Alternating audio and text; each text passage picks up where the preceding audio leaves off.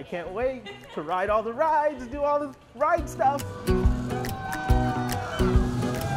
Hey guys, we're here at Valleyfair before it opens this weekend to give you a sneak peek of what's to come this season at the park. So this morning I'm joined with Melissa Ferlaak. Thanks for being here. Thank you for having me. Yes, yeah, so tell us, of course, we want to know about all the new things that the park has to offer. Absolutely. So we have three brand new shows happening. We have entertainment going throughout the year in addition to our large scale events. Um, we're so excited. We have a brand new Peanuts show called Jungle Journey.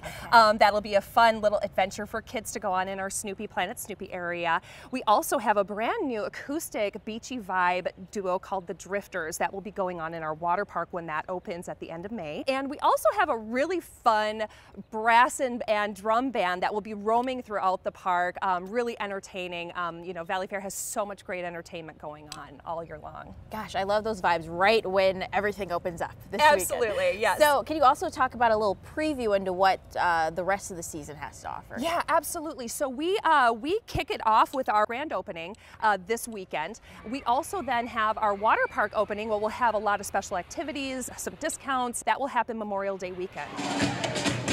And then we move into Grand Carnival. This happens at the end of June through the beginning of July. It is this wonderful international festival with all kinds of great entertainment, food, crafts, games. It's just such a spectacle and a huge parade.